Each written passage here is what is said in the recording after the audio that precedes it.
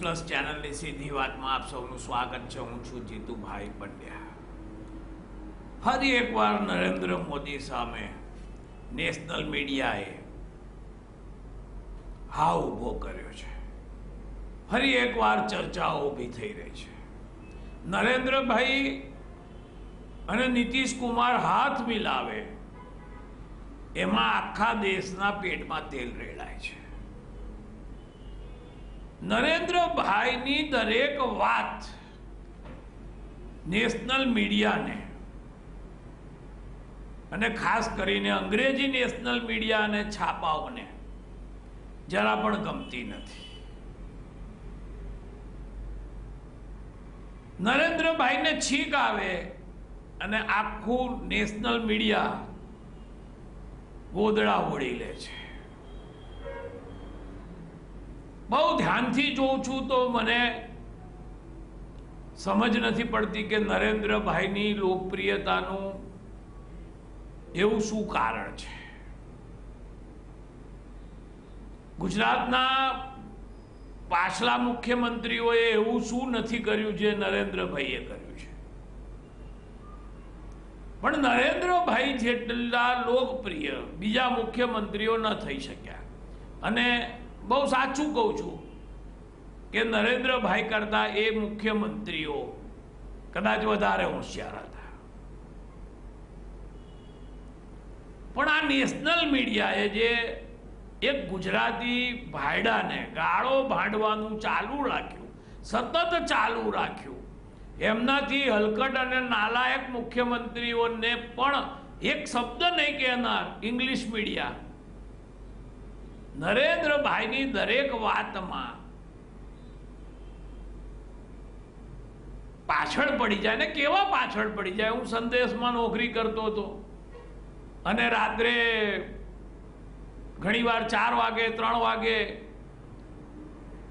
કારેલીબાગથી છેક મકરપુરા જવું રસ્તામાં સો કૂતરા મારી પાછળ દોડે. વાવ વાવ વાવ વાવ કરતા દોડે. મોટરસાયકલ પર જવું પણ હું શીખી ગયેલો કે જ્યારે કૂતરા આપણી પાછળ દોડે ત્યારે આપણે ભાગવાને બદલે ઊભા થઈ જવું. આ બધાને સલાહ પણ છે જે લોકો ક્યારેક કૂતરા એમના મોટરસાયકલ, સ્કૂટરની જોડે દોડવા માંડે. એટલે જરાય સ્પીડ વધાર્યા વગર પહેલાં સહેજ ઊભા થઈ જજો. એટલે એ ભસતા કૂતરા ભાગી જશે. હું પોતે મીડિયામાં છું. હું પણ નરેન્દ્રભાઈનો કડક આલોચક છું. પણ જે રીતે બે હજાર બેના ગોધરાના તોફાન થયા નથી અને આખું મીડિયા એક યા બીજા પ્રકરણમાં નરેન્દ્રભાઈને ટાર્ગેટ બનાવતું રહ્યું. એટલે સુધી કે એવી થિયરીઓ લઈ આવ્યા. અને પછી એ થિયરી બેનર્જી કમિશને એટલે કે જે લાલુ પ્રસાદ યાદવે જે કમિશન નિમ્યું હતું રેલવે મંત્રાલય તરફથી નિમાયેલા સુપ્રીમ કોર્ટના જજ બેનર્જી સાહેબ પણ આ મીડિયાના ચક્કરમાં આવી ગયેલા. એમણે એમ કહ્યું કે આ નરેન્દ્રભાઈ ગોધરા કાંડની પાછળ છે. ઈશારાઓ કર્યા.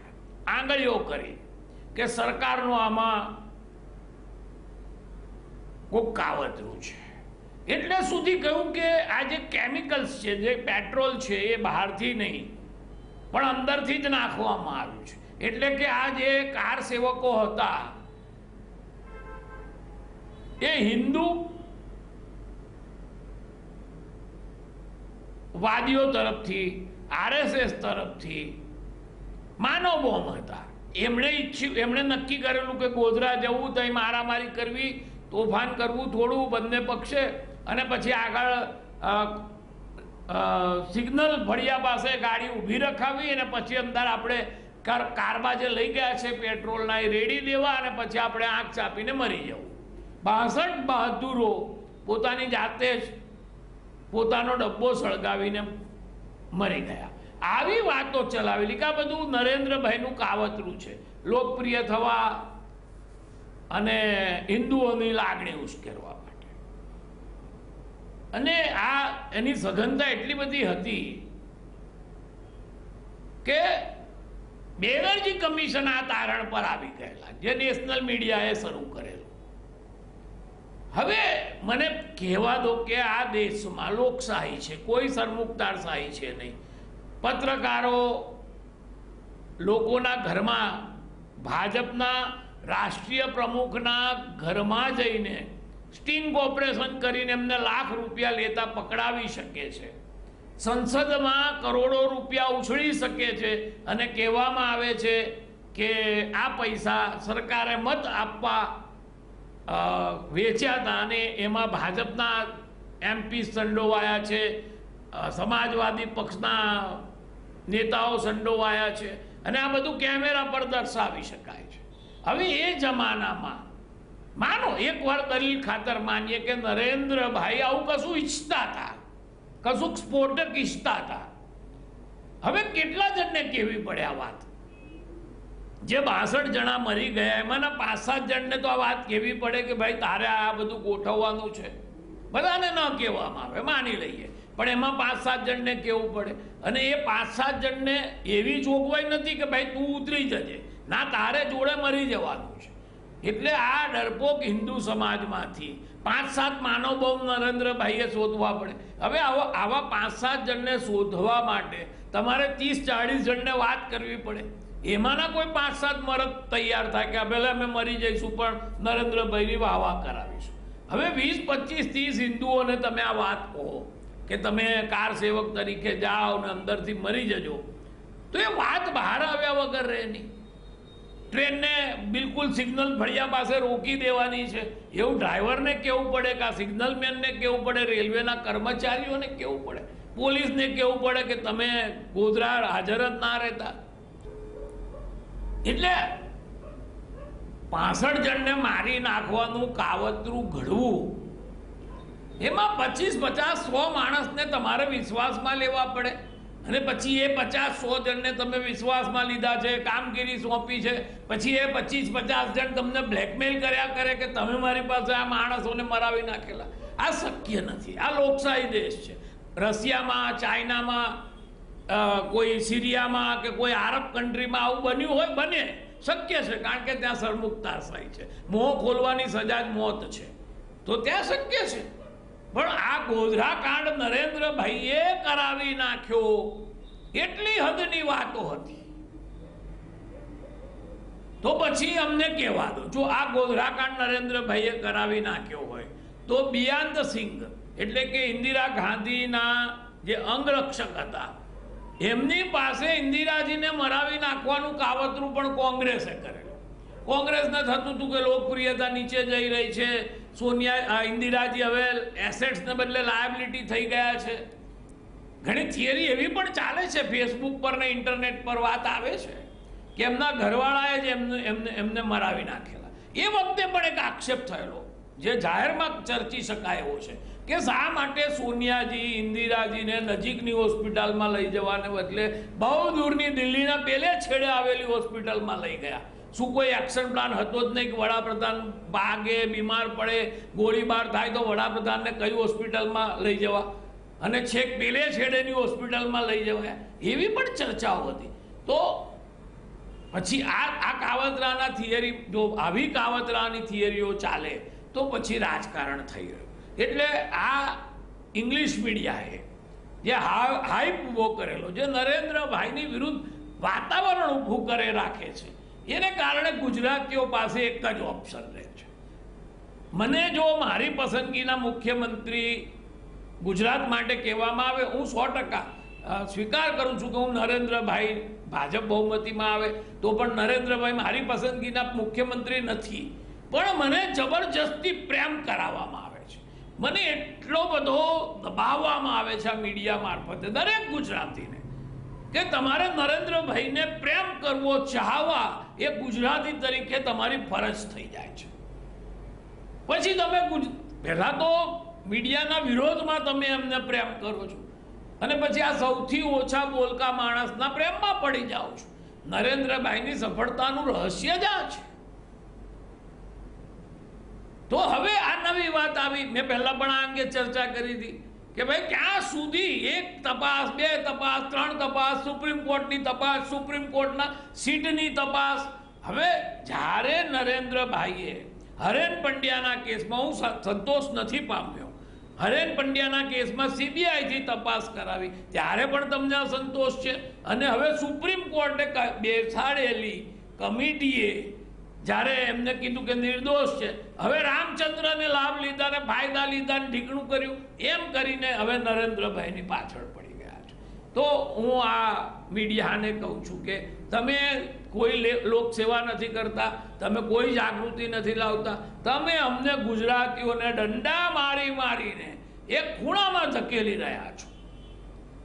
યુ ફોર્સ તમે અમારા ગુજરાતીપણાને એટલો બધો પડકાર ફેંકો છો કે નરેન્દ્રભાઈના વિરોધીઓ હવે નરેન્દ્રભાઈને પ્રેમ કરવા લાગ્યા છે.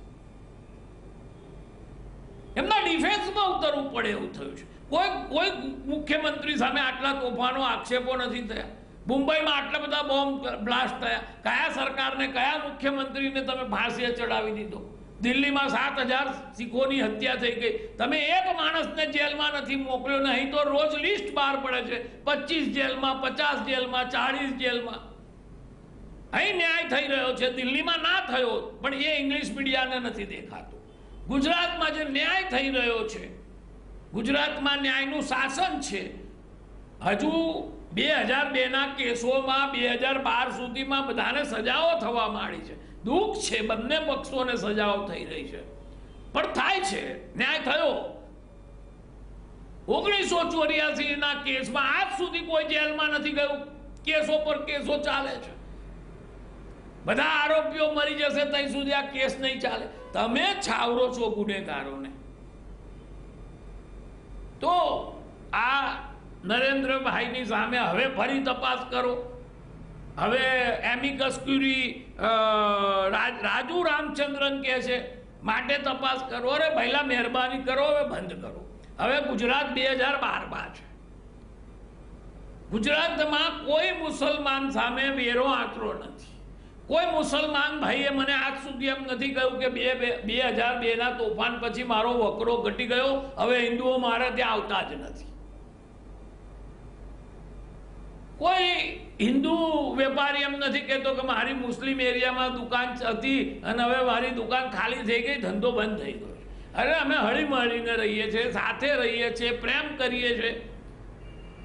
એકબીજાના દુઃખમાં મદદરૂપ થઈ રહ્યા છે. પણ હવે આ બે હજાર બેના તોફાનોને બે હજાર બાર સુધી તમે લઈ આવ્યા છો, પણ મહેરબાની કરો, આ બે હજાર બાર સુધી ન લઈ જશો. બે હજાર બાવીસ સુધી ના લઈ જશો. હવે આનો છેડો લાવો. અને હું તો મુસલમાન બંધુઓને અપીલ કરું છું ગુજરાતના, કે ખુલ્લે આમ બહાર આવી જાઓ. આ દુનિયાભરના જે મીડિયાવાળા ગુજરાતને બદનામ કરે છે. હવે સમય આવી ગયો છે કે ગુજરાતી મુસલમાનોએ ખુલ્લમ ખુલ્લા બહાર આવીને કહેવું જોઈએ કે બસ થયું. આ કેસો ચાલે છે, ચાલવા દો. આ જે જે કંઈ પ્રક્રિયા થઈ છે એને પૂરી થવા દો. પણ હવે મહેરબાની કરીને બે હજાર બે ને ભૂલવા દો. અમે ભૂલી ગયા છે, ગુજરાતીઓ ભૂલી ગયા છે, હિન્દુઓ, મુસલમાનો. ગુજરાતના દરેક ટપકાના લોકો ભૂલી ગયા છે. અને અમે ભોગ આપ્યા છે. હિન્દુ મુસલમાન બંને તરફે લોકો મર્યા છે અને બંને કોમના લોકો વર્ષોથી જેલમાં સબડી રહ્યા છે. હવે તમે અમને કેટલા દિવસ સુધી આ પજવણી ચાલુ રાખશો? આ તો વાંદરાના ઘા જેવું છે. વાંદરાને એક નાનકડો ઘા પડે. એક તારની છલાંગ મારવા જાય કે કોઈ ઝાડની ડાળખી એની જોડે ઘસાઈ જાય. અને પછી બધા જ વાંદરા વારા ફરતી આવે ને ઘા પોળો કરી કરીને જુએ કે ઘા મટ્યો કે નહીં, ઘા મટ્યો કે નહીં. વાંદરું ફાટી જાય, મરી જાય ત્યાં સુધી એના ઘા જોવાનું છોડે નહીં. એટલે એક સળી ઘસાઈ હોય, એક ડાળી ઘસાઈ હોય અને સાવ સામાન્ય ઉછરડો પડ્યો હોય ત્યાંથી વાંદરું ફાડી નાખવાનો ધંધો વાંદરાઓ જાતે કરે છે. એવો ધંધો આ ઇંગ્લિશ મીડિયાએ અને નેશનલ મીડિયાએ કરી રહી છે. બહુ થઈ ગયું. ભાઈ, હવે અમારા ઘા રૂઝાય, એના માટે પણ આની ચર્ચા બંધ કરો. સીધી વાતમાં આજે બસ આટલું જ. આવતીકાલે ફરી મળીશું.